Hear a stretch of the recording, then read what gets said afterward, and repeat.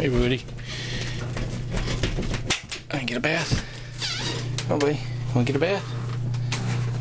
Come on, Woody. Come on, buddy. Let's go get a bath. Come on, you big butt head. Come on, let's go get a bath. All right, all right, all right. Come on.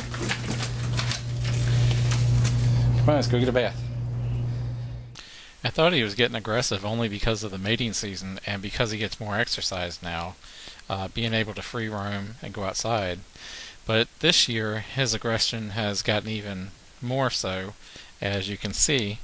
And I was wondering if it was because of the mating season or something else. And it wasn't until he was on top of Gizmo's cage and fell and hurt his shoulder pretty bad that he had to go to the vet a little bit early than it was time for him to go for his normal yearly checkup.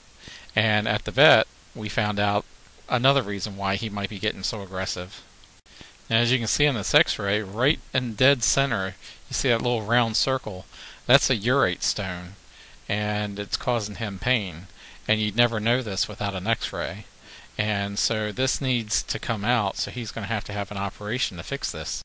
And that's one reason why your iguanas need a vet check every year, because things like this can make them aggressive just because they feel bad. And without an x ray, you'd never know why. But you can also see in this x ray how strong his bones are. Um, even though I'm just holding it up to a regular light, you can see his bones are nice and thick and white. Now, Woody will be going in for his operation at the end of this month, um, the 1st of December.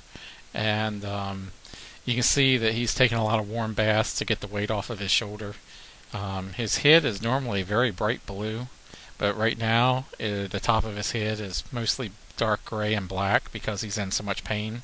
But I've got him on pain meds now, and you can see his front shoulder there is just a little bit swollen. It's hard to tell on him, but um, so he's hurting, but he's getting better, and hopefully at the end of the um, operation he'll feel a whole lot better.